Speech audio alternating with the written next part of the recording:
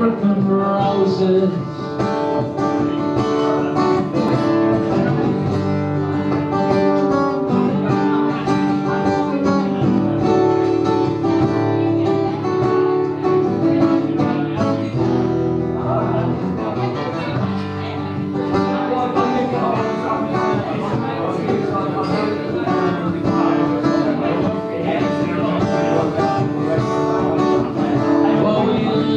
of the flatlands of Silicon Valley.